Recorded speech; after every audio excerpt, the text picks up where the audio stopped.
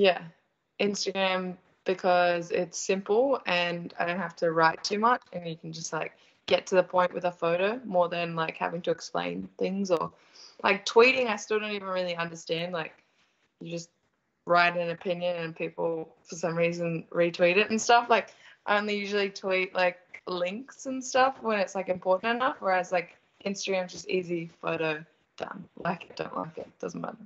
Um it's not that I don't like Facebook but it's like Facebook's like too complicated now.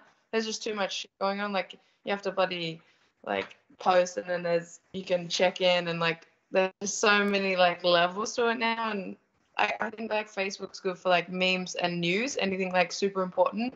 And then Instagram's just basic, good to use kind of